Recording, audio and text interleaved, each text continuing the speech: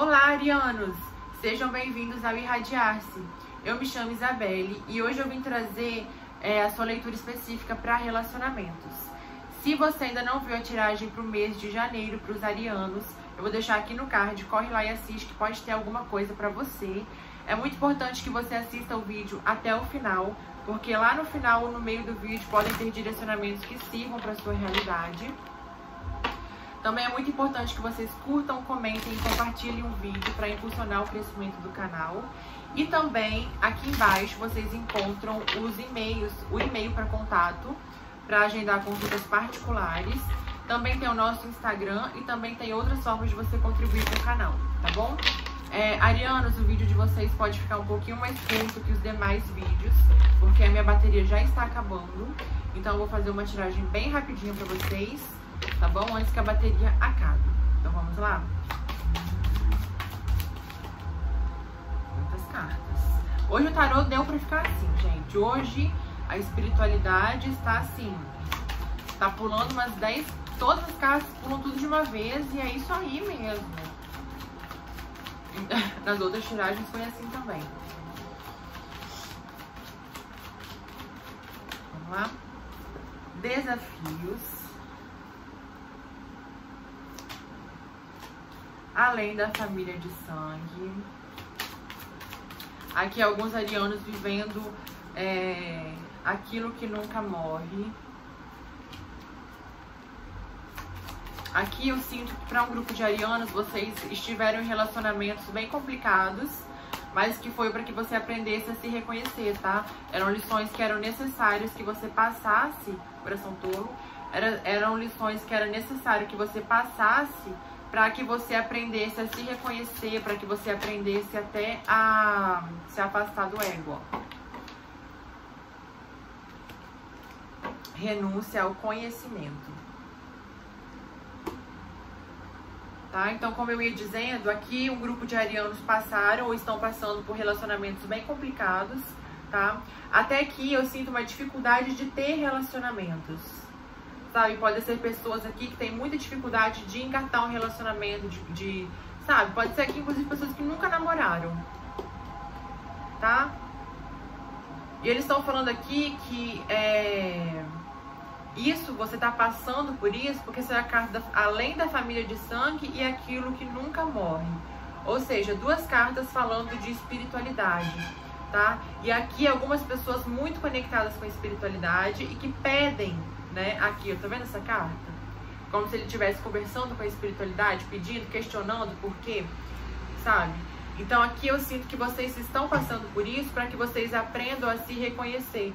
Porque pode ser aqui que se vocês encatassem um relacionamento com outra pessoa, você, é...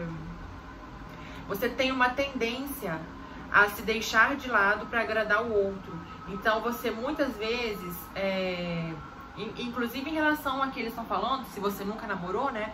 Em relação com amizades, com familiares, no, em outras relações, você tende a se perder, a se deixar de lado para que você agrade o outro. E aqui eles estão falando, é por isso que você ainda não conseguiu ter um relacionamento. E para quem já teve, é por isso que você nunca conseguiu ter um relacionamento que, que fosse assim, tranquilo, né? Sempre um relacionamento complicado. Por quê? Porque você sempre a, é, tende a abrir mão de você e do que você quer para é, pra, ficar com o outro, sabe? Então eles estão falando, você passou por isso para que você aprendesse a se reconhecer e aprendesse a ser você, ó. Sabe? Tipo, eu sou assim e quem quiser vai vir, ó. A sua singularidade que vai atrair o que você quer. E aqui o coração tolo com ego, eu sinto que vocês têm medo de se mostrar, porque vocês têm muito medo de não serem aceitos pelo outro. Vocês têm, é como se vocês vocês é, tivessem até aqui eu sinto que algumas pessoas acham impossível que se, era, se elas fossem elas mesmas, os outros aceitariam, entende? Então você sempre está se mascarando para fazer um, um, um social, assim, para ser aceito pelo outro, sabe? Isso em tudo, tá? Aqui eles estão falando de relacionamento, mas não só relacionamento afetivo, é todo tipo de relacionamento. Então aqui eu sinto que eles estão falando que você tem que deixar esse comportamento pra trás. É, A jornada fala que realmente eles estão confirmando que você tinha que passar por isso para você amadurecer emocionalmente, para que você é, se reconheça. Aqui até algumas pessoas que estão saindo da adolescência e entrando na vida adulta, né? Ou então, ou estão saindo da infância e entrando na adolescência, eles falaram. Então você está aprendendo a se reconhecer, sabe? E, e embaixo da carta da jornada tem a carta do amor, ou seja, é esse reconhecimento que vai te trazer o amor que você quer, mas é necessário antes que você passe por esse trabalho de reconhecimento. No fundo do deck, ó, equilíbrio emocional, vocês muito ansiosos aqui, e, e, e o equilíbrio emocional também fala disso que eu acabei de falar, de vocês terem a tendência de se doarem, de se deixarem para trás por conta do outro, sabe? Fingir que tá bem quando não tá. Fingir que gosta quando não gosta. Tá?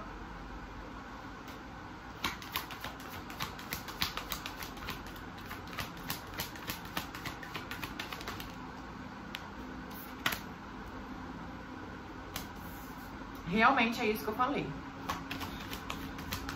Eles estão confirmando a matéria.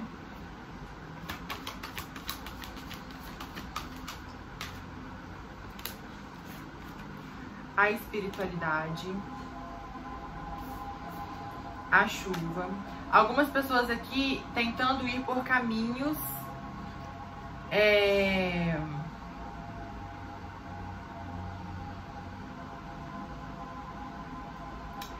Aqui, para algumas pessoas, eles estão falando que você não tem conseguido porque você tem tentado ir por caminhos que não são bons para você. E a sua espiritualidade não vai te permitir isso não, a sua espiritualidade aqui não vai permitir que você se perca. Por isso que sempre que você tentar ir por um caminho e não conseguir, saiba que não é por ali.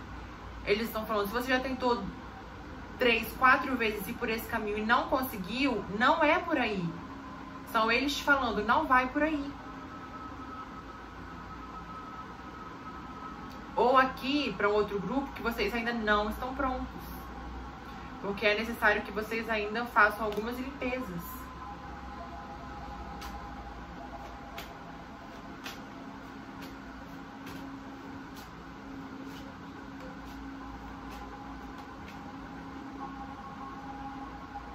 muitas vezes acontece isso mesmo, gente. A gente faz de tudo para tentar ir por um caminho, sabe? Quando você, por exemplo, você vai viajar, aí você perde o ônibus, aí o ônibus, você vai, consegue pegar o ônibus, o ônibus quebra, ou você pega o ônibus errado, sabe? Vai tudo dando errado. Aí você fala assim, caramba. Aí no final você vai quebra a cara, quer dizer, você não ouviu o universo te falando, né?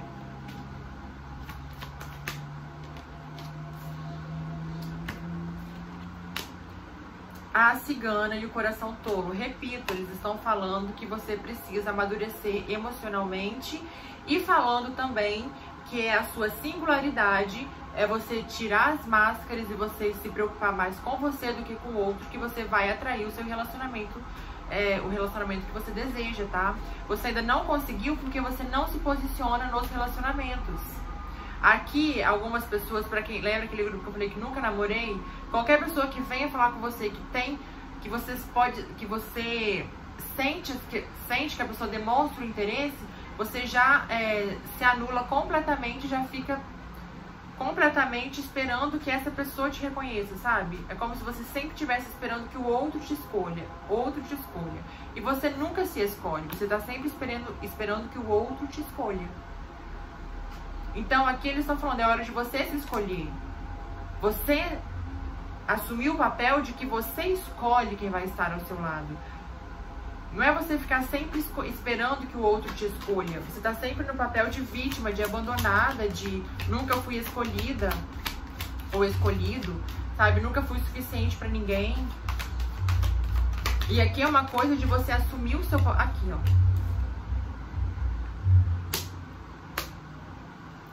Gente, vocês assumirem o, o, poder de vocês. Chega de ficar esperando que o outro te escolha. Assuma a, o seu poder pessoal, ó. O seu poder pessoal que vai tirar os conflitos. Acabou. Chega de você ficar à espera, à mercê de que alguém te escolha. Seja você que escolhe, eles estão falando. Reconheça o seu valor, saiba quem você é e aí você está no poder de escolher quem vai chegar. Não é qualquer pessoa que chega que você vai deixar entrar na sua vida. Você vai escolher quem vem, você vai escolher quem vai, você vai escolher quem merece, quem não merece. Você vai escolher. Saia do papel de, de ser escolhida que eles estão falando. Sabe? Você sempre fica tentando chamar a atenção do outro, tentando agradar o outro. Quando que alguém vai me escolher? Quando que eu vou ser suficiente para alguém? E aí vocês aqui, algumas pessoas sempre. É... Sabe aquela pessoa que começa a conversar com alguém, começa a postar foto para chamar a atenção da pessoa, para ver se você chama a pessoa e ela te percebe. Uma coisa assim, gente. Então é hora de você sair disso. Porque enquanto você continuar aqui nesse comportamento, você sempre vai atrair essas, essas situações aqui, ó de desafio. Por quê? Porque você entra num relacionamento e você sempre fica preocupada em ficar se provando o seu valor para que essa pessoa te escolha e reconheça que você vale a pena, sabe? Aí não dá, né, Arianos? Tá bom? Então eu vou encerrar a leitura de vocês aqui porque a minha bateria tá acabando. Espero que eu tenha ajudado, espero que vocês tenham gostado. Se você gostou, não esquece de curtir, compartilhar o vídeo, comentar aqui embaixo também. É, se você ainda não é inscrito, se inscreve e ativa o sininho que nos próximos dias eu vou trazer uma leitura específica pro trabalho, tá? Aqui embaixo na descrição vocês também encontram o e-mail para consultas particulares.